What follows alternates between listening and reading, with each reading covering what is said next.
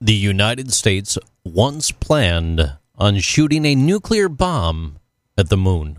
Now, if you presumed that the reasoning behind such an event was because we can, you're uh, absolutely correct. That's exactly why the U.S. wanted to do it, in order to one up the Soviet Union, who were perceived at the time as leading the space race. The project was labeled a study of lunar research flights or Project A119, and was later developed by the U.S. Air Force in the late 1950s.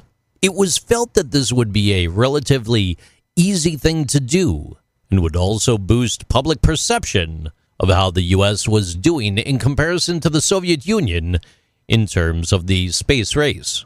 According to one of the leaders of the project, physicist Leonard Rafael, Hitting the moon with an intercontinental ballistic missile would have been relatively easy to accomplish, including hitting the target with an accuracy of about two miles.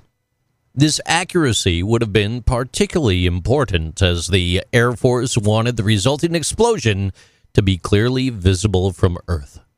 As such, it was proposed that the explosion happen on the border of the visible part of the moon so that the resulting cloud would be clearly visible, being illuminated by the sun.